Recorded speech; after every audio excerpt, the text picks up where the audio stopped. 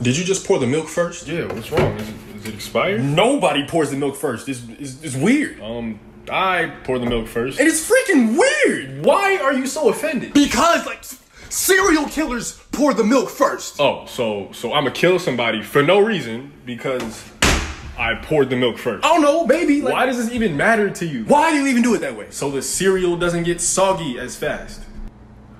What? It makes sense. No, it doesn't. Listen, if you pour the cereal in first and then pour the milk in after, then all the cereal gets saturated by the milk. All of the cereal gets saturated and submerged in the milk anyway. No, not if you pour the milk in first. Yes, because- it does. Wait, let me finish, bro. Come on. Go ahead, go ahead. What? Because of surface tension, the bottom layer of the cereal will act as a flotation device. What are you even saying? Shut right up! Let me finish, man. But that's stupid. You're stupid. This whole argument is stupid. You're the one who started this whole argument. Because you poured the freaking milk in the bowl first. Just listen to me. Gosh. Now, as I was saying, if you pour the cereal on top of the milk, Wait, in the how are you supposed to know how much milk to pour if you don't pour the cereal into the bowl first? if you eat all the cereal and there's still more milk left, either A, drink it, or B, I don't know, pour some more cereal. But what if you're not as hungry or as thirsty as you thought you were, and now you're just sitting here with a bowl full of extra milk?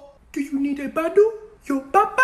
Or are you gonna stop being a little baby and just finish it? cereal milk is tainted milk. Well, that's your fault for pouring too much milk. Plus, there's there's always room for more cereal. Milk and cereal's like the ice cream of breakfast. Cereal for breakfast is pop. But on the other hand, if you pour the cereal oh. first and then pour the milk on after, Stop. all the cereal will get soggy. quickly. exactly, Huh?